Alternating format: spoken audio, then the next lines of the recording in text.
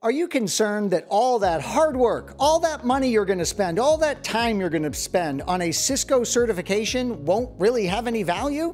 Well, I'm Anthony Sequeira with IT Pro TV, and in this QuickByte, we'll take a look at just what value a Cisco certification has.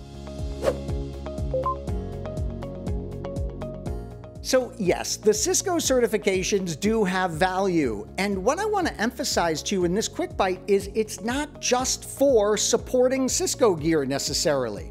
You could have your Cisco certifications and you could end up in a shop where they feature Juniper equipment and you're going to have such an incredible head start.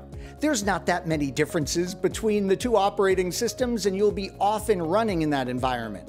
What if you want a job in cloud?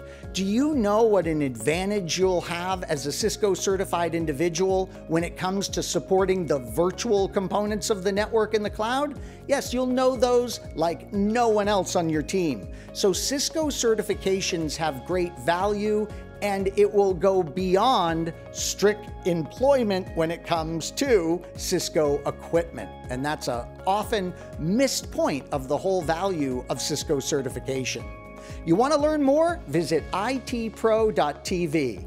I'm Anthony Sequeira, and this has been an IT Pro TV QuickByte.